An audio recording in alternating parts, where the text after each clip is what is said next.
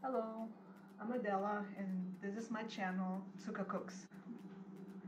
We went to Hawaii a few years back on our 25th anniversary and we discovered spam mushies.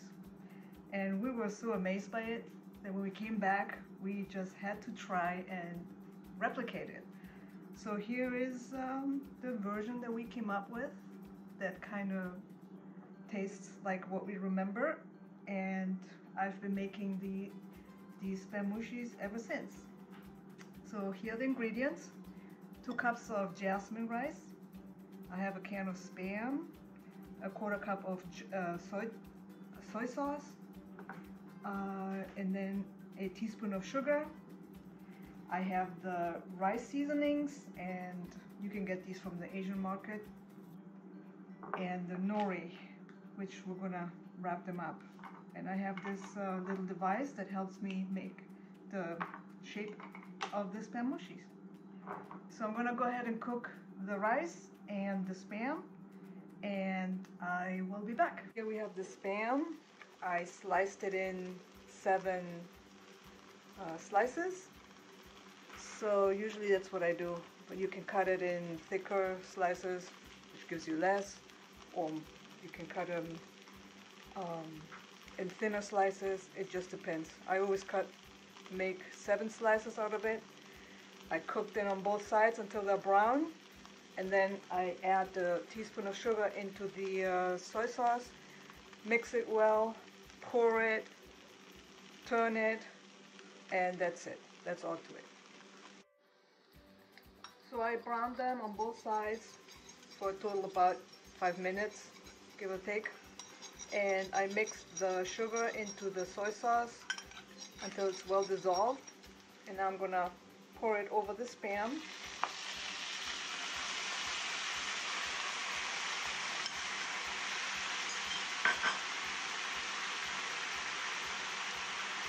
And then I'm just gonna let it cook down for another couple of minutes or so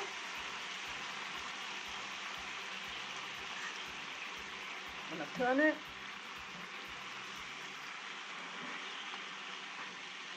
So it gets the soy sauce mixture on both sides. And this smells fantastic. Just a couple of minutes until the soy sauce is absorbed by the spam and it gets thickened Okay, so the rice is cooked, the spam is cooked, and now we're gonna put it, get to the point to put it together. So I split a sheet of the nori, shiny side down. Then I'm gonna put this thing over here. I'm gonna add the rice first. I'm gonna wet the spoon so the rice doesn't stick to the spoon. And I'm gonna go ahead and fill it with about two table, well, two, two and a half tablespoons of rice. Depends on how thick you want them. You can do more or less. This is usually what I do. And then I pick one of these rice seasonings. I add some to it. And then I'll get me a spam put it in there. Use this part here which I also dip it in the water so.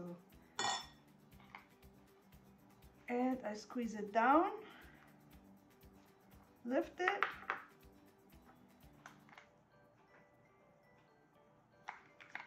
Lift it. Then I flip one side over I make the edge a little wet with the water. Flip the other one over. And there it is. Spam mushi. And let's do another one. Like I said, shiny side down.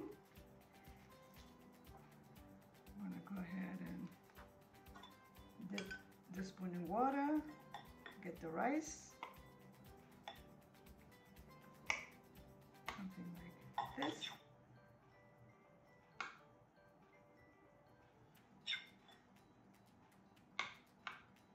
Then I'm gonna try the other rice seasoning, alternating. My husband loves this. Get the spam in there. Push it down, squeeze it real hard. And this end over, dip your finger, make it wet. And the other side, these are a little longer than what I normally use. And there you have it. So usually when I make a batch like this, my husband has like a couple of them and then I freeze the rest.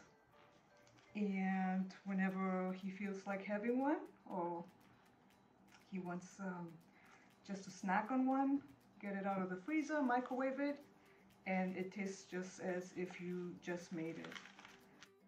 Now this little device, at, before we um, came across this, we ended up ordering from Amazon, but prior to that, we didn't know what to use, so we we cut the uh, both ends of the can, of the spam can, and use that as this device, which is the same size actually. So there's, uh, if you can't find it anywhere or you just want to improvise, you can do that as well. So here we go. Make one more. And pretty much the same procedure. We have the spam mushis I made, my version. Um, I hope you like the recipe and I hope that you try this recipe. It's really easy, tasty, and worth giving it a try. So let me know if you do try it, if you liked it. Uh, leave me a comment. Otherwise, go ahead and um, like the video, subscribe, and hit the bell so you know when I upload another video. And uh, thank you for watching.